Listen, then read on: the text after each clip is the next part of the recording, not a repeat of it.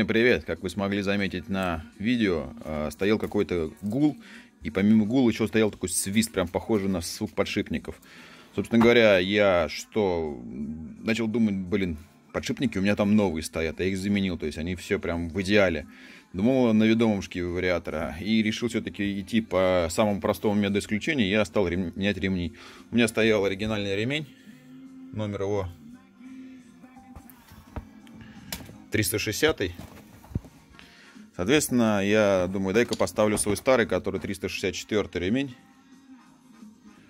Смотря, звук пропал. То есть такой только чисто звук трения резины остался. Но когда дальше держишь, свист от этого не возникает, который вы видели, слышали на видео. Думаю, ну поставлю-ка я Гейтс. Соответственно, поставил я Гейтс, звука вообще никаких, включая даже звука трения резины нету. Ну, собственно говоря, ребят, вся проблема, значит, как оказалось, гораздо проще. То есть это не где-то там звуки еще другие, это чисто только проблема вот в составе, видимо, а, резины, использующейся при изготовлении ремня. Поэтому посему для себя спокойно ставлю опять свой этот жужжащий свистящий ремень и, в принципе, не парить, потому что звук очень был похожий, напоминающий то, что это как будто подшипник, прям вот звук такой подшипника. Ну, методом исключения мы все прошли, испробовали три ремня, в итоге, короче, проблем нет, можно не переживать, спокойно катать на ремне.